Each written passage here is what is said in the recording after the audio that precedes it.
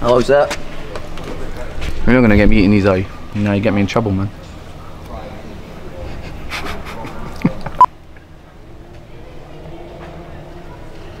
it was a throw, wasn't it? Got thrown in, and then I've seen Shane just at corner of my eye, so I've touched it inside and just backheeled it through.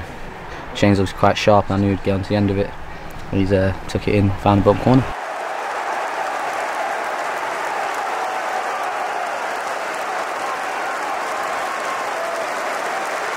Think that's how it went.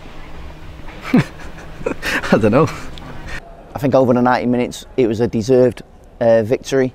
Um, I thought we were excellent first half. Um, one should have been more, in my opinion.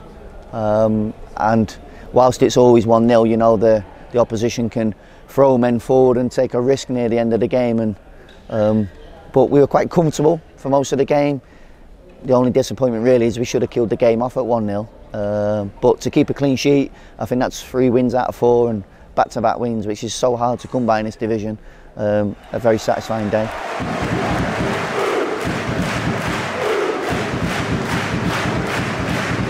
We knew it was going to be, um, you know, first ball, second ball type game. At times you got to you got to fight the fight against them, and then you've got to, you've got then to have the the presence of mind and the composure to play our football. And I thought we did that really well first half.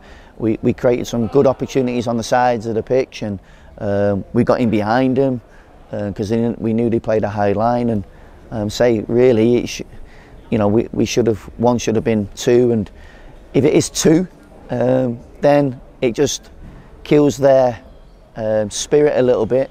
Um, and we maybe gone would have gone and got a few more, but um, you know the the crowd got us over the line there at the end, and uh, it was a big three points for us.